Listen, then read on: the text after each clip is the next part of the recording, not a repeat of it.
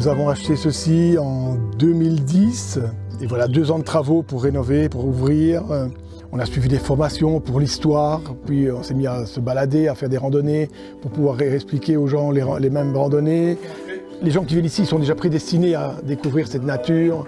On les aide juste à la découvrir un peu mieux et puis leur faire dire oh attention regardez ça. Pour moi l'esprit parc justement c'est vraiment de faire découvrir notre paradis parce que nous c'est notre paradis ici, hein. que ce soit de jour comme de nuit c'est le paradis ici. Hein. C'est vraiment faire découvrir aux gens notre façon de vivre aussi, hein. un peu plus saine en leur faisant manger des produits d'ici, il y a nos potagers, il y a nos choses à nous, alors c'est tous les éleveurs du coin, on essaie de faire travailler tout le monde ici. On est dans un endroit unique, il faut protéger.